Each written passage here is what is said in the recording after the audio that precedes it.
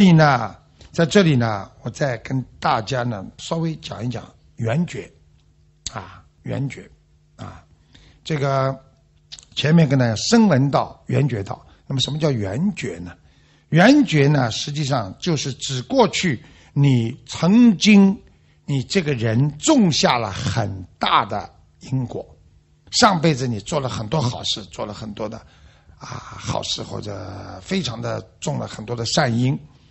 所以呢，你这个圆觉是出生在无佛之世，佛还没有到人间之前，所以很多人根本不懂的。所以很多人说：“哎呀，这个没看见过吗？啊，这个没看见过。”那我问你，佛在两千五百年前还没有在印度出生之前，还没有把佛教带到人间之前，这个社会上、这个世界上哪有佛教？佛教啊？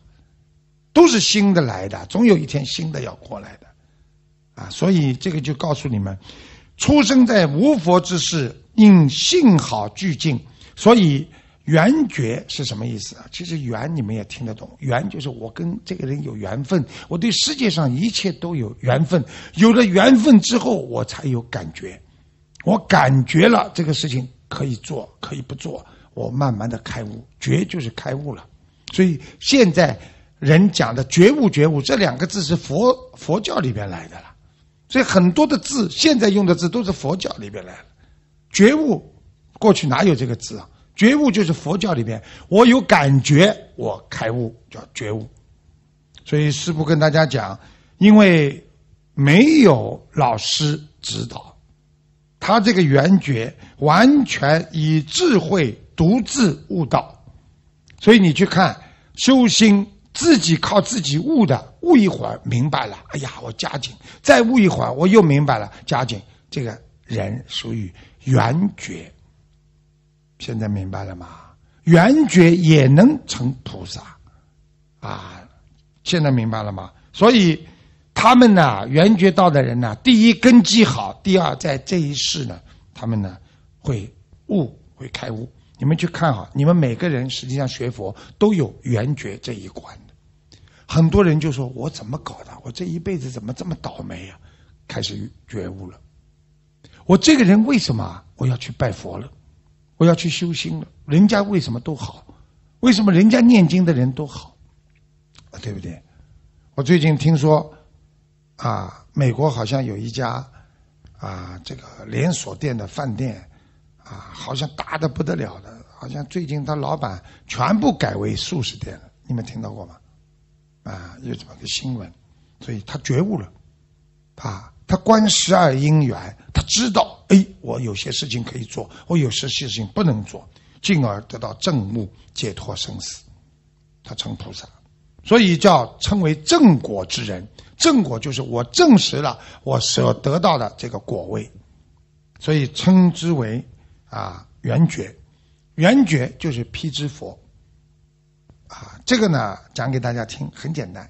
比方说，大学里的高级讲师就是副教授，这个叫法不一样。辟支佛实际上就是圆觉，用现在的后来重新，因为这个佛法还在不停的翻译当中，还在不停的有人在修订，就是跟菩萨能够接上气场的人，所以在佛教界又称为独觉。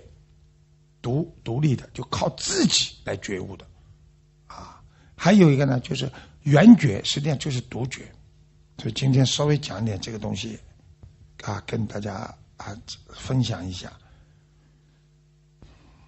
那时间过得很快，所以我这个很多事情还没还没跟大家讲了，那稍微讲一点那个，因为他们全世界都在直播，我不知道他们清楚不清楚啊。这个看师傅的脸呐，还有声音啊，清楚不清楚啊？跟他们反馈一下。那么一个人开悟，我讲到圆觉开悟是怎么开悟的？开悟呢，就是实际上悟性是被带出来的。悟性啊，就是这个人碰到事情之后，哦，是带出来的。我今天倒霉了，哦，你看啊，我没有当心啊，对不对啊？我今天，哦，这就是。你的悟性开始有了，悟性是被诱导出来的。现在明白了吧？所以很多人不开悟，他没有悟性诱导出来，有悟性了才会诱出你心中的禅。所以很多人说什么叫禅呢？啊，中华文化讲到现在讲禅定，什么叫禅？禅就是由你心中的悟性而产生的一种理解力，而这种理解力让你能够完全能够驾驭，那就是你心中的禅，啊禅定。所以呢，在这个世界万物，很多人间的事情都是被隐藏着的，本来属于无相的，但是因为呢，人间的感情的生出。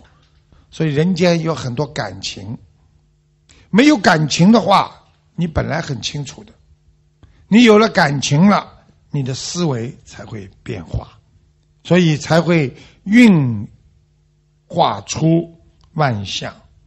所以这个运化出万象，就是我们所看到的幻象。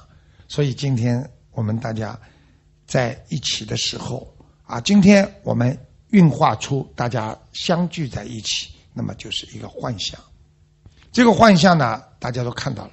过一会儿，一个小时之后，这个幻象就没了，因为大家都散掉了，对不对？所以，这就是说，我们会陷入人间的假象所迷惑，不能自拔。所以，为什么很多人以为这是真的？啊，对不对啊？我是真的，我在人间，我要房子，我要名，我要利。实际上，房子、名啊、利啊，时间长了都没有了，对不对？很多人很可怜，要了这个，要了那个，什么都要到了，最后命没了，就假象了，就假。